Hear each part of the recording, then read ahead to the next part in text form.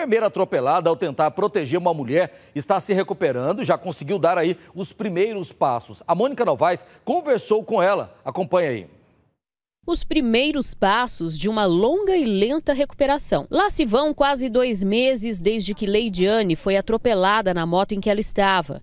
A mulher presenciou um empresário agredindo a esposa e avisou que ia chamar a polícia. O homem entrou no carro e jogou o veículo em cima da moto da enfermeira. Ela foi arrastada por 20 metros até bater em um poste. A Lidiane, que está aqui do nosso lado, foi quem tentou, né, Lidiane, é, evitar que aquilo acontecesse e acabou pagando um preço muito caro. Felizmente, você hoje está aqui é, se recuperando. É um passinho por dia, um passinho de cada vez. E a gente pode dizer que está sendo uma das maiores vitórias desde aquele dia 24 de novembro?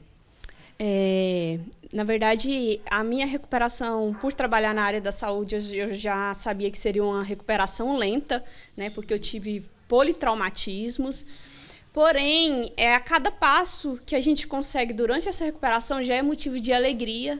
Nessa semana mesmo eu consegui fazer, é, fazer um tratamento de canal no dente que estava doendo há 50 dias, mas não conseguia antes por causa do, da fratura da mandíbula. E essa semana também a fisioterapeuta né, nos indicou já que pudéssemos já começar a trabalhar com andador para fortalecer a musculatura, né? Apesar que o médico ainda não me liberou, né, a andar, mas em questão de fortalecimento da musculatura, será necessário a gente começar, né, pelo andador e eu fiquei e estou muito feliz porque pra, pode ser mínima coisa, mas para mim já é uma evolução. Ela também compartilhou planos para ajudar vítimas de violência. Geralmente de uma dor nasce-se um propósito e nasce um propósito que é, vem crescendo, né, ardendo dentro do meu coração.